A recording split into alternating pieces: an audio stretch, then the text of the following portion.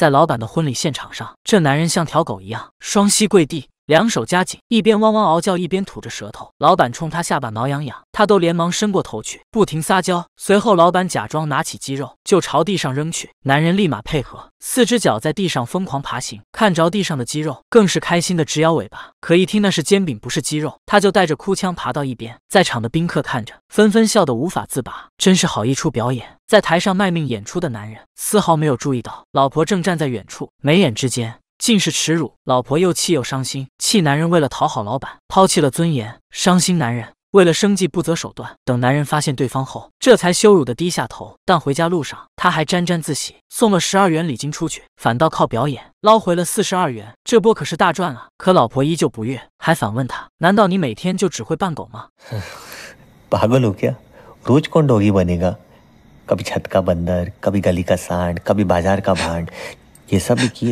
老婆情绪瞬间崩溃，她哭着求男人换个工作，反正他们祖孙三代都是裁缝出生。再说了，男人的手艺精良，自己去创业不轻轻松松吗？还不用被人撵着鼻子到处走。可男人不愿走祖辈的老路，和老婆产生了分歧。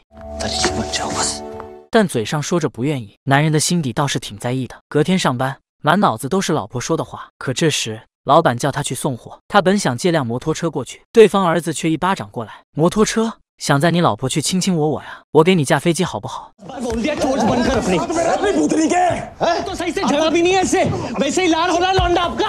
男人越想越气，也不管对面三个人，几拳抡过去，就当场炒了老板鱿鱼。等回到家，他告诉老婆：“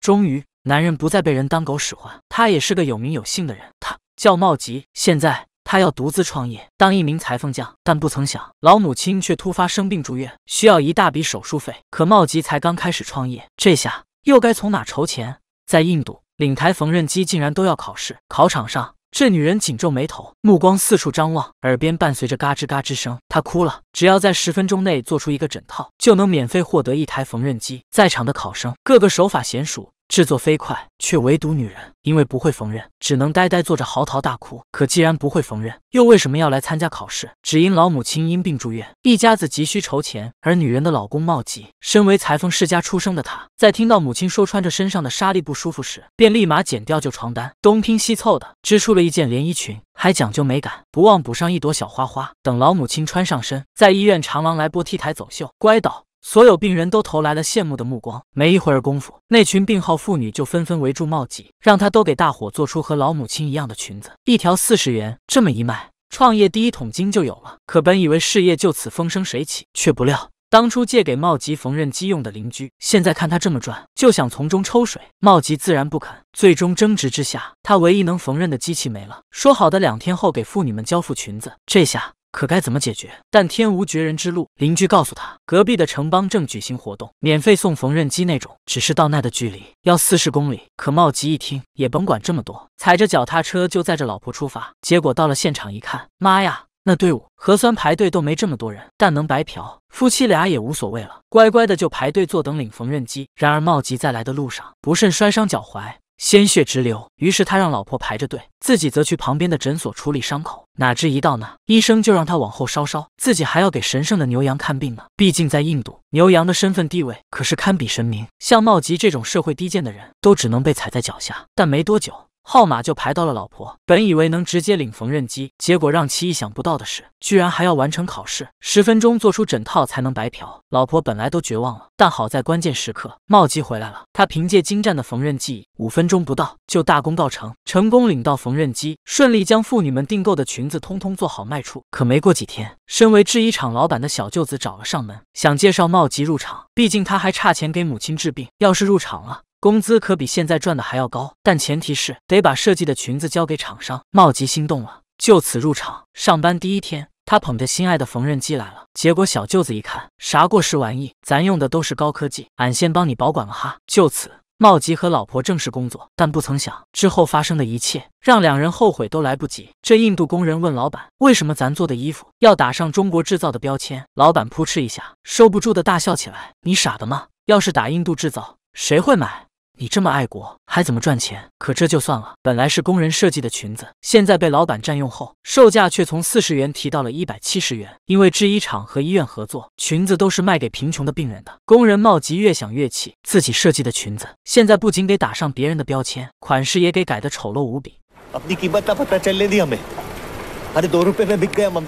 他怒火中烧，找到老板娘对峙，斥责对方竟如此剥削可怜的穷人们。吵到最后，茂吉和老婆就给炒了鱿鱼，而属于两人的缝纫机却还留在制衣厂里。没了机器，他们就不能单干。为此，茂吉开始一蹶不振，每天就躲在家里睡觉。而老婆为了帮他，便独自回到制衣厂找老板索要缝纫机。可对方表示还给你可以，但要茂吉以公司的名义去参加国际时装赛，拿个大奖回来。这下老婆彻底明白了社会的险恶。无论如何。他都坚决不同意，缝纫机也自然没能拿回。尽管在老板面前如此态度强硬，但当见到茂吉后，老婆还是忍不住，直接在街上崩溃大哭。他认为两人要夺回属于自己的尊严，他们要去参加时装赛，以自己的名义拿下大奖。制衣厂老板什么的，就让他们吃屎去吧。随即。两人找到邻居，用甜品借来了缝纫机。等到了时装赛海选现场，他们就拿着做好的服饰，在一众评委前展示。虽然两人穿着土里土气，和面前时髦评委形成鲜明对比，但两人的设计还是得到了评委的认可。不过，要想参加决赛，他们还需要有团队，设计出更多款式。老婆立马回答：“咱们的邻居个个都有手艺，只要召集起来，肯定能成。”就这样。在茂吉的软磨硬泡下，邻居纷纷加入团队。他们将大院当作工作室，摆台简陋的织布机，就开始每日每夜的设计创作。最终到了决赛那天，茂吉就带着一家子和街坊邻居来到了比赛现场。可不同于参赛设计师的专属模特，茂吉这团队的模特可都是群没见过世面的穷人。一上 T 台，要么走得歪歪曲曲，要么走着走着就倒过来。更过分的还有，走没几步就响起了电话。众目睽睽下，就这么接了，乖倒。咱这模特走成这样，还怎么赢啊？走秀过后，一行人无比失望，不等评选公布，就想赶末班车回家。可这时，茂吉接到电话，让他赶紧回到秀场，却不曾想，